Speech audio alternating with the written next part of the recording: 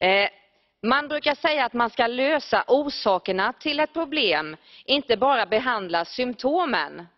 Jag vill påstå att det finns enklare lösningar på migrationskrisen, vilket är den kris vi borde tala om hela tiden i denna kammare.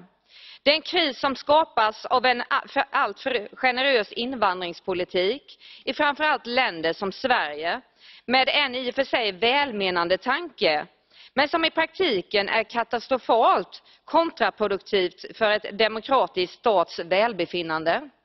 Dessutom orsakas krisen av den enorma befolkningsökning som sker utanför Europa samt dessa områden och länders dysfunktionella karaktär som resulterar i stor arbetslöshet och mycket dystra framtidsutsikter.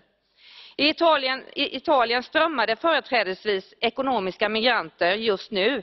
Vissa dagar kommer det tusentals. Lösningen är inte att ordna en tvingande omfördelning från Italien till resten av Europa.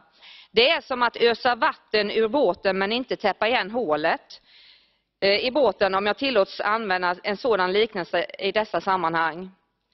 Kommissionen och några inrikesministrar presenterade en lösning häromdagen där, bland, där man bland annat ska hjälpa Libyens kustbevakning att bättre, att bättre patrullera sin kust.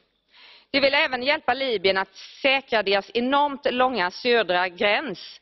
Vilka som ska göra detta sägs inte. Det låter som man ska bygga upp en ny statsapparat i Libyen, vilket blir en stor utmaning. Jag har en enklare lösning. Ge tillbaka asyllagstiftningen till varje land. Ge Italien rätt att sätta tak på antalet som söker asyl. Besluta om en paus i asylansökningar.